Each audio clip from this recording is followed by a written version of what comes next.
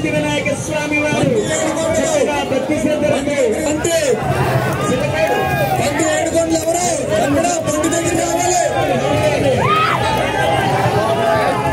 దత్తాత్రేయ గారు.